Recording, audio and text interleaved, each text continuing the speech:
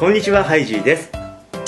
というわけで今日はまたまた業務スーパーさんで安すぎて気になってしまう商品を見つけましたので買ってきたんですけれどもそれがこちらでございますね。ててーん豚カレーうどんというカップ麺なんですけれどもこれが税抜きで78円なの。これのポテンシャルを知る意味でももう一つこちらカップのカレーうどんといったら僕の中ではこれというまるちゃんの黒い豚カレーうどんも買ってきましたのでこの2つを食べ比べていきたいと思います。まずお互いのセールスポイントなんですけれどもまるちゃんの方はコクと旨味のとろつゆというコクのあるつゆを推していますね。それに対して業務スーパーさんの方はカレーの出汁によく絡むコシのある細麺細麺であることを推しているというカレーうどんにとっては珍しいパターンでございます。まるちゃんの方も業務スーパーさんの方もお互い粉末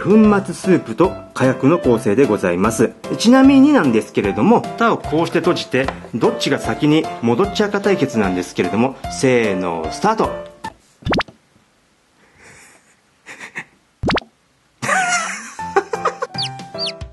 麺に関してなんですけども確かに業務スーパーさんの方が随分細麺でございます。やっぱ僕らはカップのカレーうどんといえばこっちの太さに馴染みがありますよね。ただボリューム的には一緒くらいですかね。まるちゃんの粉末。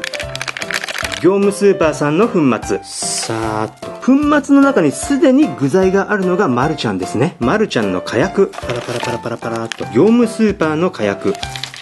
火薬に関しては業務スーパーさんの方が緑色がちらついているのかなっていう印象とチャーシューに関してはまるちゃんの方がゴロゴロ感がありますね。まるちゃんは熱湯5分。業務スーパーさんは熱湯3分ということでこっちからお湯を入れていきましょう。ちょっぽー。あれから2分。ちょっぽー。3分後ペロン。ペロン。こう見るとスープの色はまるちゃんさんの方がもう濃い感じがしますね。いただきます。まずはおなじみまるちゃんの方から食べていきましょう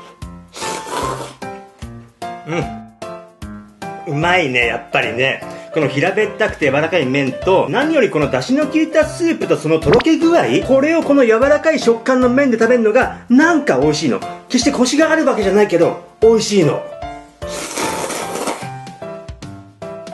やっぱうまいね。確かにコクもしっかりあるし、まあ具材たちがそこまで主張してるかって言ったら、結構とろみがあって、具材たちがツルツルツルツル下に下がっちゃうから、まあ結局食べてるの麺だけになっちゃうんですけれども、うまいね。次は業務スーパーさんのカレーうどんと行きたいところなのですが、ここで急にカメラが不具合を起こし、音が取れていないというハプニングが起きましたので、ここからはナレーションにて失礼いたします。とりあえず業務スーパーさんの細麺は、全然食べ応えに影響を与えるでもなく、美味しくツルツルいただけましたが、スープに関してサラサラしていることもあって、まるちゃんさんと食べ比べると、水で薄めた感を感じてしまいました。でもこれを単体で食べるなら、気にならないレベルだと思います。まるちゃんの方に戻ってきますと、やはり出汁がしっかり効いてますし、コクもありますし、とても美味しく感じてしまいます。でもこれは値段の差もありますし、仕方がないのかなという感じですね。とにかく細かく言えば、麺の食感などももちろん違うのですが、美味しさに影響しているのはスープの違いだと感じました。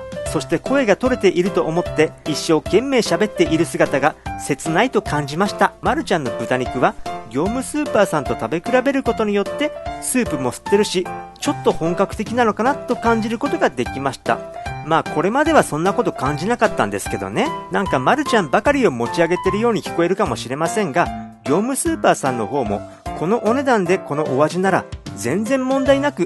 美味しく空腹を満たせる商品だなと思いました。それにしても、まるちゃんさん、業務スーパーさん、どちらのカレーうどんも食べ終わったかと思ったスープの中に具材がまだ結構残っているあるあるは共通でした。